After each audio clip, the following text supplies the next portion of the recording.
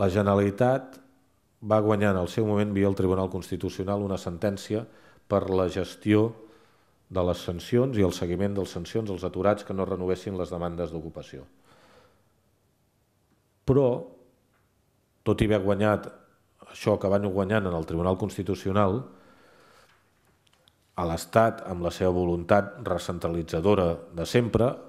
quan va veure el risc de perdre la sentència a nivell del Tribunal Constitucional, va modificar la llei. Això estem parlant del mes d'agost de l'any passat, dintre les mesures urgents. La Generalitat, quan acaba guanyant la sentència, que l'acaba guanyant durant aquest any, es dedica, ara veieu l'absurd, l'absurd però amb conseqüències sobre la gent i sobre els més febles. Es dedica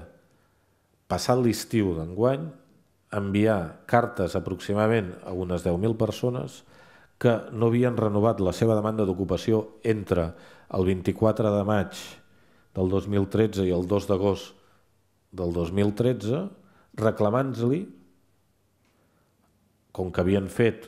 una sanció de no, de no renovar la demanda d'ocupació d'un mes, reclamant-li aquella mensualitat. Nosaltres, evidentment, quan ens va arribar la queixa de persones aturades, ho vam posar a disposició dels nostres serveis jurídics, mirant, perquè ja creiem que era injust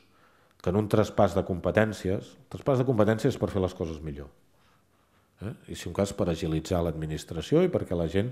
pugui tindre d'allò, no, no per fer les coses pitjor. Però ja creiem que era injust, des d'un punt de vista social, que una persona aturada, que segurament podria estar en aquests moments en una situació d'atur, sense cobrar cap tipus de prestació, se li reclamés al cap de més d'un any una mensualitat. Per tant, que s'ha modificat la llei i que la Generalitat, en el moment en què tramita aquests expedients, no és competent per sancionar aturats. Per tant, la legislació, i aquí entrem a l'àmbit jurídic, la legislació, com sabeu, en tots els àmbits eh, civils, penals, mercantils, sempre diu que se t'ha d'aplicar la llei que més et benefici, si hi ha hagut modificacions de lleis. Veient que els expedients ja estaven oberts, nosaltres vam creure que la via jurídica que teníem que utilitzar de manera genèrica, perquè si no és reclamació, reclamació de cada aturat, que també hem fet arribar i vam difondre en el seu moment un full de reclamació en aquest sentit, però vam fer una reclamació al síndic. El síndic teniu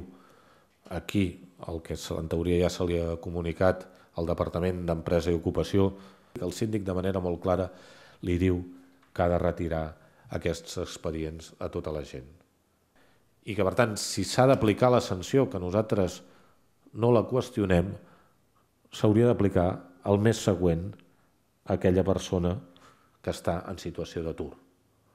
O, en el millor dels casos, mentre estigui cobrant la prestació d'atur perquè no podem eternitzar que ara comencéssim a reclamar perquè trobéssim no sé quin buit legal a la gent aturada al cap d'un any, dos anys, li comencis a reclamar. Perquè hauríem de mirar, evidentment, l'altre, abans d'obrir un expedient, després de tant de temps, potser la Generalitat podria haver mirat la gravant de si aquella persona té ingressos o no té ingressos. No?